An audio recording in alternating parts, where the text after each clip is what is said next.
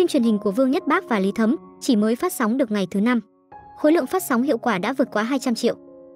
Top 1 Data Win Top 1 CCTV8, xếp hạng cao nhất 2,096%. Top 1 loạt phim nổi tiếng từ Mao Yển. Vai diễn Ngụy Nhược Lai là số 1 kể từ ngày đầu tiên lên sóng cho đến nay. Là nhân vật được yêu thích nhất và nhân vật chính kịch được yêu thích nhất. Đây là sự trở lại khá thành công của Vương Nhất Bác với tác phẩm chất lượng và xếp hạng số 1, tổng lượt xem trên tất cả các nền tảng đều rất cao. Lượt xem vượt quá 200 triệu trên ứng dụng iQIYI.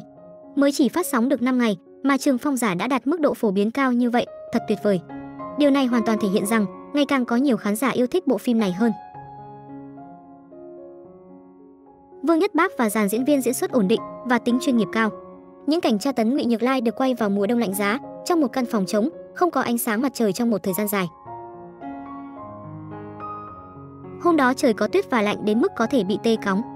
Nam diễn viên đóng cùng đoàn phim với Nhất Bác cho biết, mọi người đều mặc quần áo dày, nhưng Vương Nhất Bác chỉ mặc bộ đồ rách dưới với những vết máu giả. Anh ở trong phòng 3-4 tiếng đồng hồ, thậm chí còn không rời khỏi phòng quay phim.